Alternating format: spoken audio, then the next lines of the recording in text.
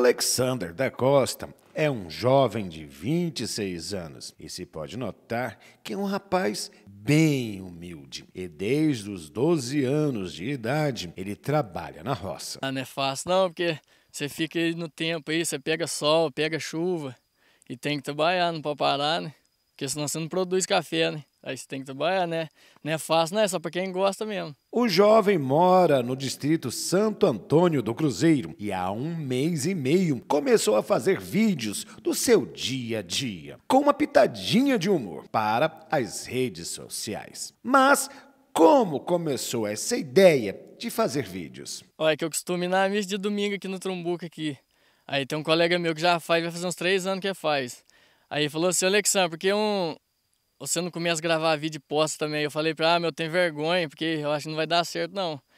Aí na segunda-feira eu fui trabalhar, desbrotar um café lá, aí eu fiz um vídeo lá e até hoje tô fazendo, não parei mais. Há menos de 30 dias, Alexander começou a utilizar outra ferramenta de trabalho fora a roçadeira.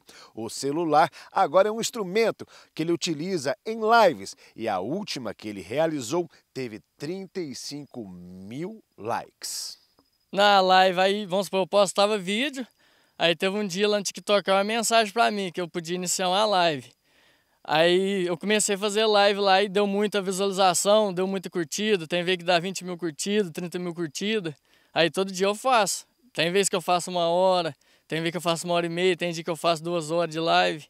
E por aí vai, todo dia eu tô fazendo também a live. Para achar os vídeos e live do Alexander, basta digitar Alexander Agro com dois S's. E as lives são feitas na casa mesmo do jovem. Algumas vezes deitado numa rede preguiçosamente ou sentado na cama.